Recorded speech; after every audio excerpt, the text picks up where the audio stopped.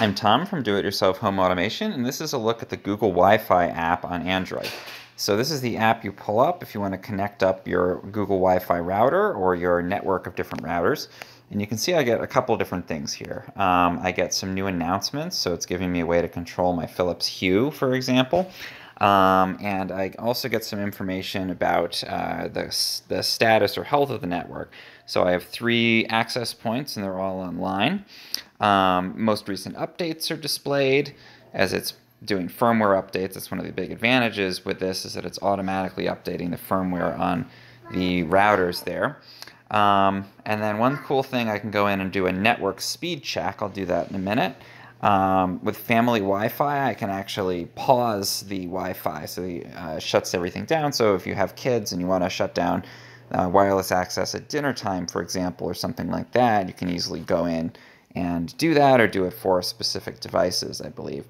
Um, now over here in the settings section, I can do things like prioritize one device.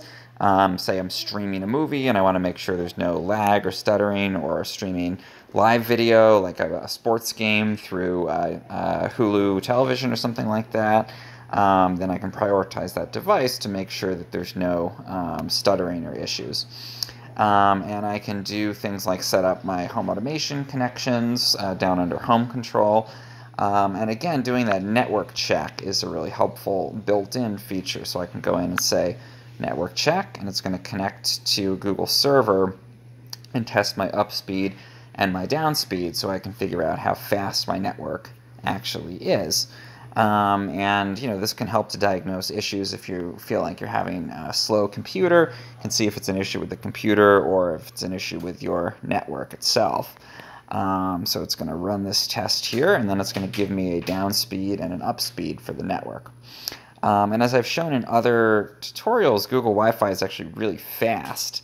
So you can see here my uh, internet speed coming in is 252 down, 11 up. That's pretty good. And it'll give me this metric that's fast enough to stream 4K video. Um, and then sharing that to the other routers in the house, it actually preserves a lot of that speed.